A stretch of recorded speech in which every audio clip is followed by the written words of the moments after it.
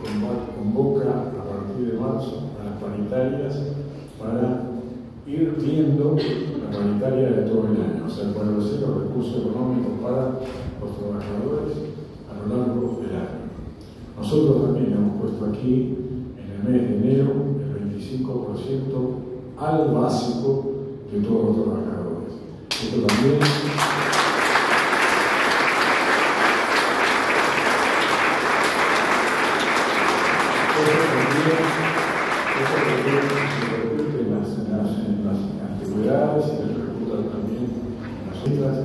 Y además, hay otra cosa que quiero rescatar, también le queremos dar a nuestros jubilados la posibilidad de que puedan tener un mayor, este, unos pasitos más en su salario jubilatorio.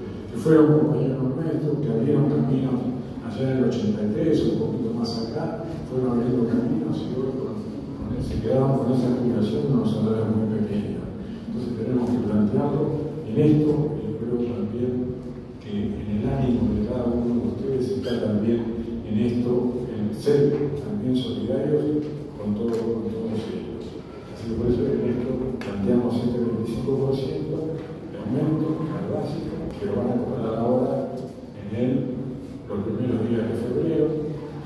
Plantear para febrero la actualización, la autorización de todas las asignaciones familiares y escolares y en marzo convocamos nuevamente una paritaria para ir viendo todo lo que ha aclarado, cómo se queda aclarado, para bien o para mal, cómo nosotros enfrentamos con lo nuestro, con lo que nos pueden dar todas estas cuestiones que realmente eh, ameritan al trabajo de nuestros trabajadores municipales y trabajadoras municipales en todo lo que hacen.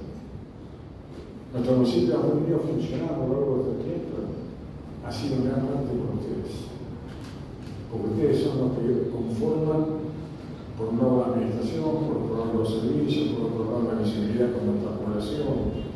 Entonces, esto yo creo que también tenemos que hacer, porque nos toca la parte de conducción, estar eh, atentos a esta situación. Eh, no sabemos qué va a acontecer, inseguridades, o también como puede ser, angustia por no saber qué puede pasar, pero lo que sí es cierto que no no nos vamos o no le vamos a soltar la mano. Vamos a seguir trabajando todo a todo para tratar de mejorar todo lo que mayor podamos nuestros recursos.